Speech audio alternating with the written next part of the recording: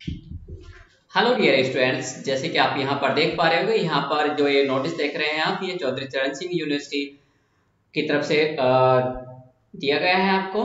तो इसमें चौधरी चरण सिंह यूनिवर्सिटी द्वारा बताया गया है कि आज के डेट में जो 12 चार 2021 में यहाँ पर बड़ा अपडेट आया है। आप देख पा रहे होंगे, जैसे कि यहाँ पे नोटिस आया है कि यहाँ पर वैश्विक महामारी कोविड नाइन्टीन को दृष्टिगत रखते हुए विश्वविद्यालय परीक्षा समिति की बैठक दिनांक बारह चार इक्कीस में लिए गए निर्णय अनुसार चौधरी चरण सिंह विश्वविद्यालय परिषद मेरठ तथा इसे संबंध समस्त महाविद्यालयों, संस्थानों में दिनांक तेरह चार से मतलब जो कल से एग्ज़ाम होने वाले थे, वो और तथा तीन पाँच तक जितने भी एग्ज़ाम होने वाले थे, उन सभी को स्थगित कर दिया गया है और अग्रिम आदेशों तक ये इसी तरीके से रहेंगे और इसके बाद होने वाली समस्त जितने भी एग्ज़ाम्स हैं, वो अपने निर्धारित समय अनुसार ही होगी।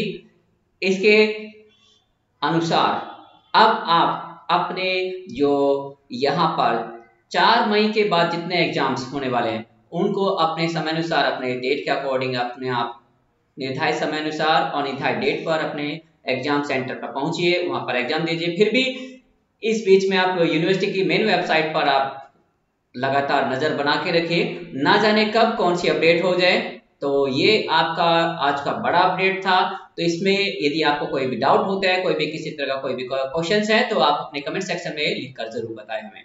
धन्यवाद दोस्तों। मिलते हैं नेक्स्ट सूचना के साथ में। धन्यवाद।